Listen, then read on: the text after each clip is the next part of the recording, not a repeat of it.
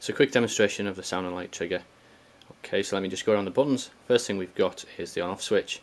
Then we've got a sense knob which is going to change the sensitivity of it to the sound or light event that's going to take place. Delay, the delay between the unit being triggered and the flash and um, a button I refer to as the, the arm button and um, the uh, just an indicator light, turn it around we've got um, three sockets S for sound where we're going to plug in the mic, B for beam where we're going to plug in the light sensor and T is the trigger output where we're going to connect the flash. So first thing I'm going to do is set it up for um, sound so plug that, plug the microphone into the, um, the S socket uh, turn around and switch the unit on.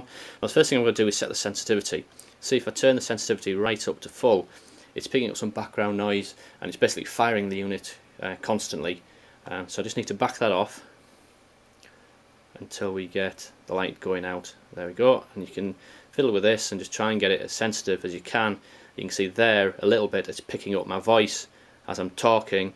And so we're uh, we're pretty good. And if I do it you can see the light flashing there to show it's being triggered. And this is test mode. So in this mode you set it up um, test what you're going to do and check that the light flashes and it's actually triggering the unit.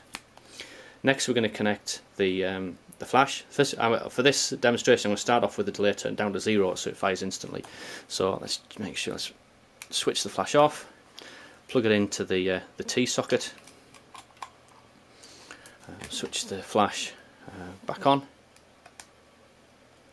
and just check that's, um, that's charging up. Let's give me a test fire. Yeah, there we go. Okay, so next thing I'm going to do then is, is actually do um, do a, a, trigger of the flash. So now I need to tell it that the next flash I, do, I want it to actually fire the flash. So I press the arm button and then I trigger the unit and it flashes. Just do that again. And uh, there we go. And so let's do it with the delay now. Turn the delay right up to full. Um, arm button one two three flash Um, it's, so this is it's about three and a half seconds uh, time delay. Uh, it's not calibrated. Just need to uh, to set it and, and do it a, a little bit by trial and error, depending on the event that you're actually trying to do. And obviously, of course, you can move the distance between the microphone and uh, what you're doing as well. So I'm just going to show you one more feature before I change over to light, and that is just the uh, the power reminder. So if I'm just uh, leave it for 30 seconds without being triggered.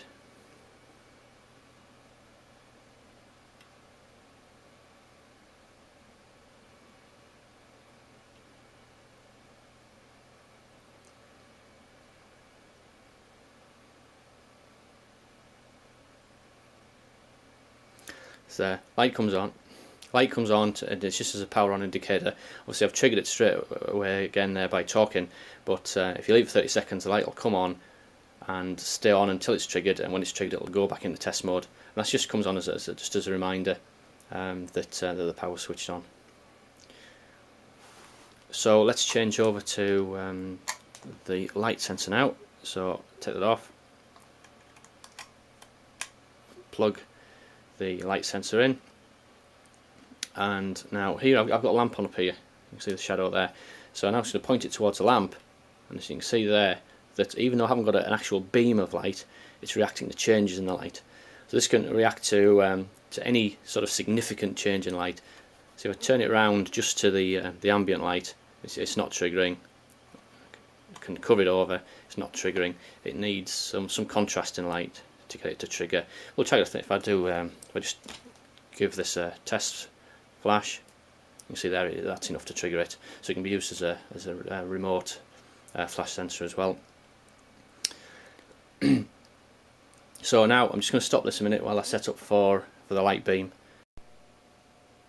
Okay set up for beam now. You can see I'm just using a builder's level um, 199 off eBay and all I've had to do is take the lens out so it gives a spot instead of giving a, a beam um, a, a, line that a builder was used, was used to get a level so we just put that there. You can also see here the, um, the, the laser beam reflecting off the end of the light sensor. You need to get quite a firm setup here. Any wobbling will cause it to trigger. If I just now put my pencil through the beam, you can see there, just triggering the unit. Another thing I've done is is put the extension lead on here, just a 3.5mm jack extension lead, so I've got a bit more room to position my flash. And the other thing you can do is to, uh, same thing for your light sensor, put on an extension lead so that you're not, uh, every time you touch the unit you're not risking breaking the beam. So now let's do um, the fire, so again just check it's working, I'm going to arm it and next time I break the beam flash. Let's do it as fast as I can this time. Arm it and and flash. I've actually fired an air rifle um, pellet through the beam and it will react to that so it is very sensitive. Right, set up to do um, a remote shutter release. So back onto um, back on, on the sound trigger. And what I've got here is just uh, a remote cable shutter release that I've modified to put in put on a 3.5mm jack to go into my output. So that just um, plugs into there. And of course then round into the, the shutter release on the camera. Um, turn the camera on. Now one thing you do need to make sure is that the camera is focused. So let me just check that's focused on something so it'll fire. Switch unit on Let's turn the sensitivity up a little bit.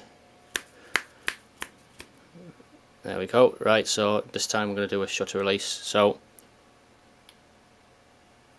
arm the unit, and hopefully you heard that, and you can see the picture it's taken on the back of there.